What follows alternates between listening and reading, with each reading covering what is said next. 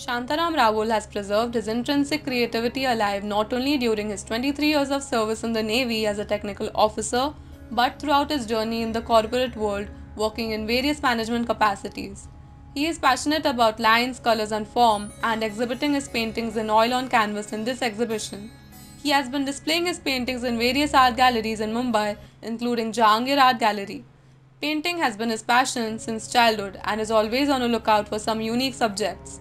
Apart from being an engineer, lawyer, and postgraduate in finance management, Shantaram Rawool is an artist with exceptional energy and life essence who did not allow his artistic spirit to diminish even a bit throughout his diagonally opposite academic trainings and multiple roles he played as a part of his diverse occupations.